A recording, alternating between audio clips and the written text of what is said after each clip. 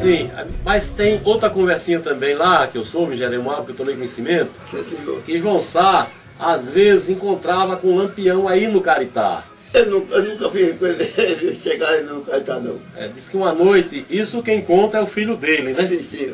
O Ah, doutor tá. João. Sim. Diz que uma noite, acertaram, não sei, Lampião veio conversar com ele e passaram a noite no Caritá. Isso quem conta essa história Sim, sim. é um, um- um cidadão chamado Seu Domingos e diz que escutou isso do filho do Coronel João Sá, doutor Sá, doutor João Carvalho Sá. Diz que um certo dia, Lampião veio para cá e foi onde ele encontrou com o João Sá e passaram a noite aí na fazenda do Caritá, os dois conversando. Sim, senhor. Quando o João Sá pediu a Lampião que não entrasse em Jerimoabo. Eu, eu eu sei que aí tem um negócio aí de um. de um- de um- o, o pano de co- encoberto. Porque João Denilo pegou e comprou a fazenda. Foi que ele comprou. A- ele, com medo dos cangaceiros, João Denilo vendeu a, a João Sá.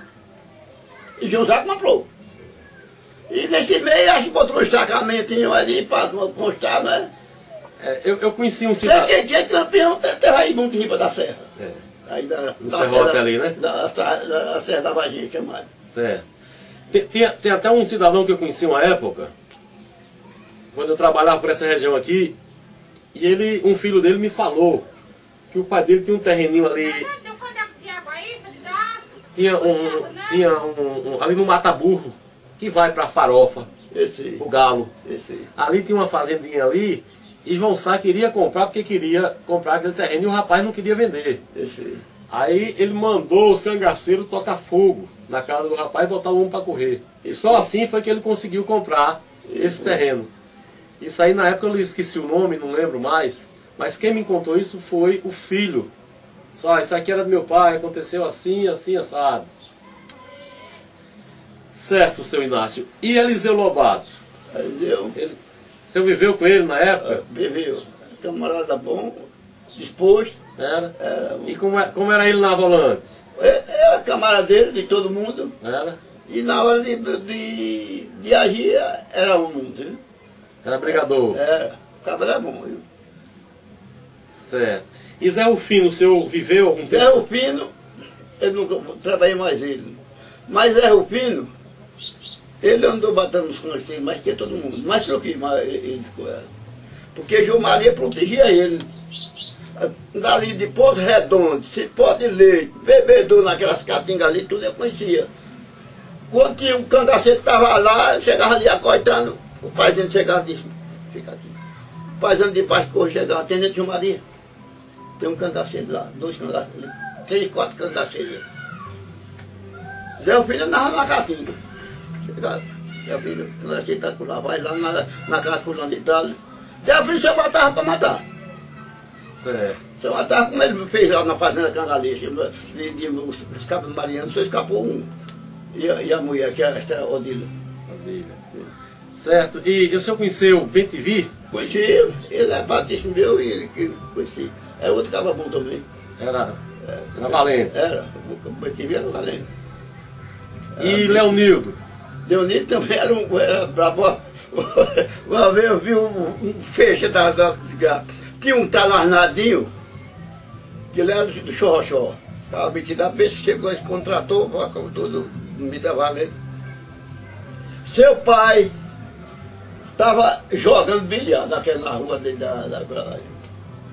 Aí naquele meio, e não sei como foi, que tiver lá um tema no modo de jogo, um Arnadinho com o seu pai. com o Joinho. Aí o. O Arnaldinho sarto no, no taco. Arribou assim para dar no. no Juveninho. Juveninho baixou no, no vidro, aí ele pá, a tora dele. O taco acabou, quebrou, mas vai ia bater nele. A menina, Leonido era pro Juveninho. Bateu uma faca e fechou na abertura de, de Leonido, mas o, o Leonido bateu uma faca e bateu na veste de ali. Mas foi um tufo do inferno. E Leonido não matou ele porque, porque não, não deixaram. Era uma arruma de homem danado. Ele podia ser pai, Leonido. Era, era um trabalho danado de Leonido também. Leonido, cada vez que ele saiu mais, mais ontem recruta, pegaram aí, não sei porque ele foi, ele, ontem recruta teve uma bagunçada aí com, com o pessoal ali do velho, seu povo mesmo lá do, do Coelho, encostou a orelha dele, do, do, do de dentro, lá no, no, no pagode que eles tiveram, né? E não sei como foi que os meninos vieram da parte do Coronel João Sá. Mas, mas o, contra o recruta. Vivendo da parte do Coronel João. Ele, o Coronel João Sá patigava o bichinho, o, o, o bichinho, como o outro recruta. Aí, mas não vai. Ficou por isso mesmo. Foi é como aí. Não, daí. Não foi, foi mais, foi mais Miguel Maria Gosta, essa bagunça. Foi, foi da casa que eles mataram Miguel. O Leonido, o Leonido foi de outra bagunçada num, num pagode aí. Tiveram um, um, um, eles mataram, o, outro recruta matou um, chegou, se revoltou, pegou o Leonido, dois irmãos dele e acho que um, um primo, e danaram, quando nós estávamos em Papiranga, os cangaceiros já tinham se acabado. É, para cangaceiro na Catinga. Aí peguemos um carro de lá de Papiranga, cheguemos aí no Quim Satemo, peguei a, a, pista deles aí, danaram aqui nesse mundo aí. Chegaram no Rio de São Francisco, desceram de cá, bicho abaixo, lá roubaram um fazendeiro lá que era de Alagoa, e nós, nós não perdemos borracha. Notícia aí em cima, aí, quando cheguemos aí no, no, no na, na, ponta da serra, Betiveira que era o comandante. Aí chegamos já de tardezinha, no rasteiro, não perdemos não. Eles não mataram ninguém, só fizeram roubar dois fazendeiros aí na beira do rio. Aí quando chegamos tardezinha tinha um, um bordão dele chamando que era tamanho de um boi. Aí de cara, o Betivinho dele naquele bode nosso fabricado, eu meti no fuzil que eu não perdia tiro. Pá, o bode caiu. No que nós estávamos tirando o couro do bode, chegou o vaqueiro. Eita rapaz, vocês mataram esse bode é do, do juiz, do, do Jean Cic Nondô. Deixa, já tá bom, não tem conversa. O, o que houver, a gente aguenta. Mais nada, não paguei nada o juiz não custa nada. Não no outro dia, nós estávamos tudo bornando as costas, chegou a notícia. Leonido, mas até recruta já entregaram o armamento aí na tapera. Ficaram fora, que é foram, que tiveram brigar, aí vai se for dividir o dinheiro, mais ou menos.